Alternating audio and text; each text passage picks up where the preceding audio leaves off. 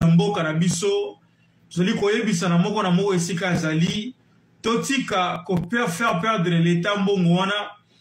soki masolo ezali kitoko na mboka toluka bafond wana tobakisela yango baenseignant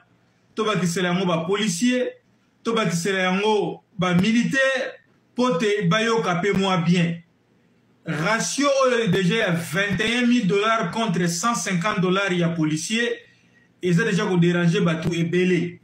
alors kobakisa susu ratio mosusu oyo bandeko bakozala na bo, bo mosolo ya mokie alors ke baninga mosusu baza kokotisa 33 000 dollars ekokolisa mboka te ekofragilize nango kaka nde mokili alors tokosenga vraiment na gouvernement congolais Uh, et puis tokosenga vraiment na, na, na, na ye moko chef de l'état congolais parce que azali élu ya bapeuple lokola badepute nyonso ameka kotala masolo wana na ndenge propre parce que ratio wana eko